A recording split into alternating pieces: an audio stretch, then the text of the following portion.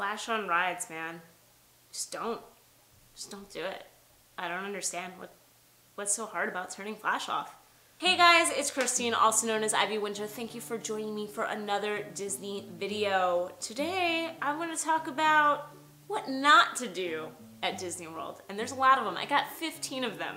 15 things that you should not do at Disney World. And this is a mix of, hey, don't do it because it's kind of rude, but also a mix of like, don't do this because it might not be the most ideal way to plan your trip or to handle your trip. So it's a bit of a mix of both. And I think sometimes knowing what not to do is just as important as knowing what to do in a place. And especially with Disney World, there's just so much going on and it's hard to understand and take everything in sometimes. So I want to break this down 15 things, I'm gonna bust through these, um, that you should not do at Disney World. Number one, don't cut the line. This should be kind of obvious, but I do know that in some countries it's totally okay.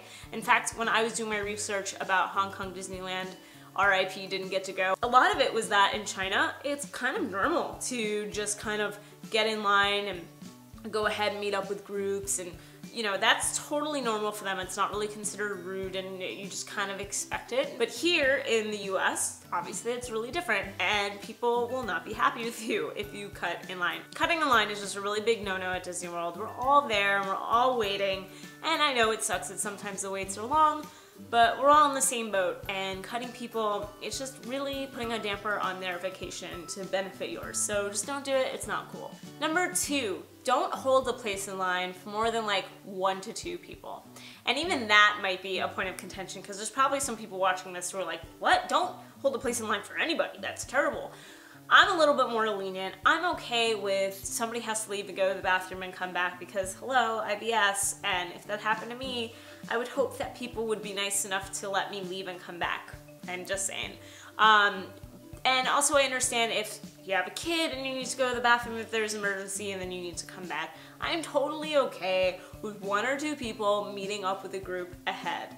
I'm not okay with people who hold a spot in line for like seven of their family members. Like that's just not cool. At that point, if you were that one person waiting for seven people, just wait outside the line and get in line together. Number three, do not jump on the very first bag check line or ticket line as you're entering the park because that's just gonna make that line longer. A lot of people will show up, say Magic Kingdom, and they just beeline straight ahead and they will hit that first uh, ticket line and not realize that there are so many other cast members taking and scanning, you know, Magic Bands taking tickets and there's shorter lines all around you.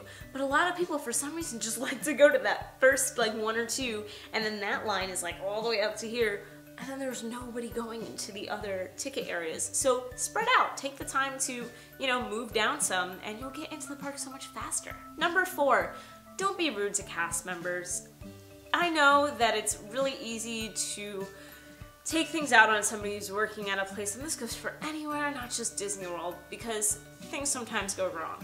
But you have to understand that these people are working for a living, they're doing the best that they can, and it's not up to them whether a ride breaks down or not. It's not up to them if the fireworks can go off or not during a storm. And you need to have a little bit of compassion and not blame them for things that are out of their hands. They really are just trying hard to make sure you have a great vacation. So um, do what you can to not be rude to cast members, even if you're upset about something. Number five, do not pack a full suitcase. Why? You need room for souvenirs. You're gonna want souvenirs. Trust me, especially if this is your first time going. So never pack a full suitcase. Make sure that you have some extra space to take things home because it's going to be a pain in the butt if your airline only allows so many bags on carry-on and now you're carrying like a whole bunch of Disney bags and trying to get through uh, security that way. Just make sure you have some room in your luggage. Number six, do not impersonate a Disney character. This is actually a really big rule at the parks. Disney bounding, totally okay. Costumes during the Halloween party, totally okay. But if you're going in any other time of year and you're like really dressed up as a character, you cannot pretend you are that character. You cannot give out autographs, take photos of anybody, or anything like that because Disney has a certain style of show and they don't want somebody to just come in and pretend to be a, someone who's working there and isn't. It becomes this whole weird thing and could be a legal issue for them, so just don't do it. Number seven, don't use a selfie stick because they're gonna take it from you. This has been a new rule in the past couple of years. They do not allow selfie sticks. That said, you can bring smaller tripods, so things like little gorilla pods. The big reason is because it's a danger on rides, but like I said, they will take it from you. You can get it back when you leave the park. They will just hold it up at the front, but they're gonna take it from you, so just don't even bother. Number eight, do not wing it. I know that planning for Disney vacation can be really overwhelming, and I'm not saying that you need to plan out every single minute of your day. I promise that's not the case. But you should have somewhat of an idea of what parks you want to go to, where you might want to eat, if you want to have a break day. Just kind of have some semblance of a plan because if you just try to wing it, if you don't even look anything up, if you say, I'm going to Disney World and I'm not going to look at a darn thing, you're to be so overwhelmed and probably not have that great of a time. Do a little planning. Even if it's the littlest planning ever, just do a little bit. Number nine, do not dress uncomfortably. See a lot of people who go to the parks who are wearing, like women are wearing heels and I see people just wearing the wrong clothes for the weather, whether it's too many layers, too few layers, because they think it's gonna be hot and it's not. Wear comfortable shoes, wear whatever the most comfortable clothing is. Maybe that is a dress for you, but maybe that's sweatpants. Whatever works for you, nobody's gonna judge you, but just be comfortable because it's really long days and you are going to just feel so miserable if you're not in your most comfortable outfits. Speaking of, and number 10, don't forget to check the weather. Yes, Florida's hot. Uh, it is not just sunshine all the time though. Even though it is a sunshine state, that's a bit of a misnomer. Most days in the summer it rains, even some days, other seasons it rains. Check the weather not only before you go so you know what to pack, but every single day so you have an idea of what's gonna happen. Generally, they can give you a good hourly forecast so you can have an idea of when rain might happen. And that way you know whether you need a raincoat with you or maybe you want to plan lunch around a rainy time, whatever it might be, check the weather. Number 11, don't just eat only in the parks. Some of the best restaurants on property are in resorts. Don't feel like you only need to eat in the parks and make sure that's not your only plan. I can give you a whole slew of recommendations on resort restaurants but make sure you take some time to look at stuff that's at the Poly or the Contemporary or Animal Kingdom Lodge or maybe even the resort that you're staying in. There are so many other options and a lot of them are really fantastic, so don't limit yourself to food in the parks only. Number 12, don't try to keep a big group together 24-7, it's not gonna work. I'm telling you. Um, it's really hard to keep that many people together. Everyone has a different idea of what they want to do let people do what they want to do. Let people take breaks when they want to take breaks. You might kill each other by the end of the trip if you're really regimented about having everyone do everything together all the time, every meal and every ride. Don't do it. You're gonna feel a lot better if you let people break up into their groups and do their own thing and then come together at like dinner or for a specific ride or show or something like that. Number 13, do not miss your scheduled reservation at a restaurant. If you're going to miss it, you need to call them and let them know, especially if it's the day of. If it's earlier, I think then that you can cancel on the app or online.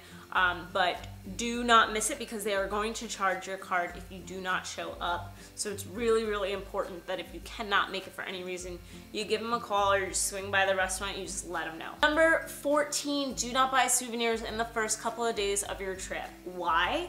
because trust me, you're gonna see something else that you want even more. What I like to do is scope out some of the merchandise the first couple of days, keep it in my brain, take a photo maybe, whatever, of the thing that I think that I want, and then if I still want it, a few days later I will come back and I will get it.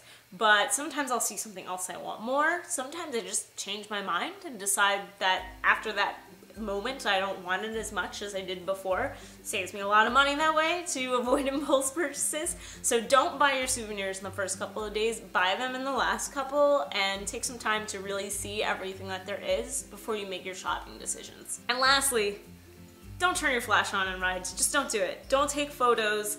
Don't take film with a flash on, with a light on. It really ruins rides for people, especially dark rides.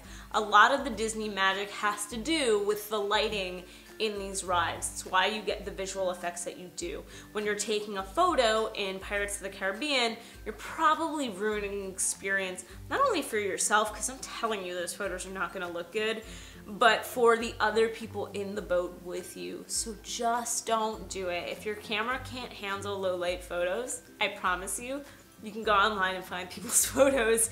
People will believe that you were there and take a photo outside of the ride. Just don't turn the flash on. It is the worst and it really really ruins the experience for everyone around you. So those are 15 things not to do at Disney World. I'm sure there are so many others and there's probably people who maybe even disagree with a couple of the ones that I said. Um, so let me know in the comments below what is your Disney do not do? What are the things that you would tell people not to do when you're at Disney World? I would love to know. If you like this video, then like it. If you like me, you should subscribe because I'm making videos every single week. Thank you so much for hanging out with me and have a great rest of the day. Bye.